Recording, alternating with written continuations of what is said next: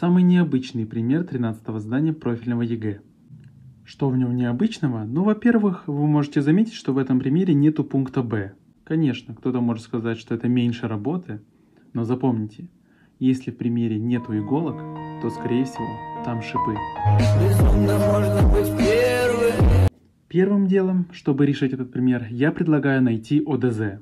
То есть найти, откуда деньги Золотова.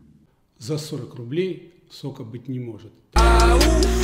Ну или посмотреть, что в этом примере есть корень и знаменатель. То есть то, что находится под корнем x плюс π на 6, должно быть больше нуля.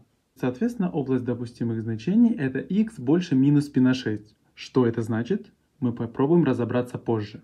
Так как мы учли ОДЗ, можем смело избавляться от знаменателя этого уравнения. Теперь получилось стандартное квадратичное тригонометрическое уравнение, которое можно решить просто через дискриминант. Получилось два корня 3 и минус 1 вторая. Очевидно, что 3 не подходит, так как синус х не может быть больше единицы.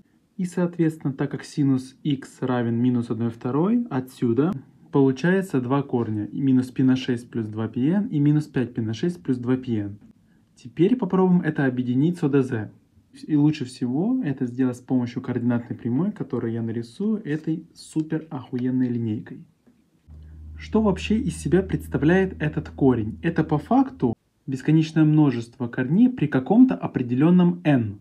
Ну, то есть, например, если n равно нулю и сюда подставить 0, то получится корень минус π на 6. Если n равно 1 и подставить сюда, то получится корень 11 π на 6 и так далее. Наша область допустимых значений это больше минус π на 6. в нашем случае n равно нулю не устраивает, так как точка не включается, а n равно 1 устраивает, n равно 2 устраивает и так далее. И все, что будет больше n равно 2, тоже будет устраивать. То есть вот это наше число n должно быть больше нуля. То есть к тому, как мы записали корень до этого, нужно еще приписать дополнительно n больше нуля. Со вторым корнем получается то же самое. Нам нужно те n, которые больше нуля. Поэтому так же само приписываем n больше нуля к нашему корню. Но вы думаете, мы на этом остановимся? Математика все-таки такая же творческая наука, как и все другие. Поэтому давайте как-то элегантно попробуем записать эти корни. Так как у нас совпало, что и тут, и тут n должно быть больше нуля, давайте объединим эти два корня. А дальше можем заметить то, что n больше нуля и n целые числа. То есть получается, что у нас n это 1, 2, 3, 4 и так далее. То есть натуральные числа. Получился финальный ответ минус 1 в степени n плюс 1 умножить на π на 6 плюс pn, где n принадлежит n. Покажите этот ответ своей маме, и она точно вас отдаст в гуманитарный класс.